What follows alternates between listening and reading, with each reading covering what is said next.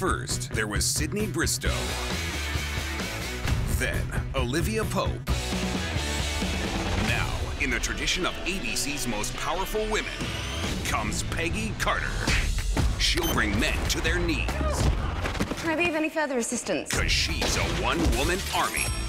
Love the hat. Take one out for me. Marvel's Agent Carter, a seven-part television event. Two-hour premiere Tuesday at 8, 7 central on ABC.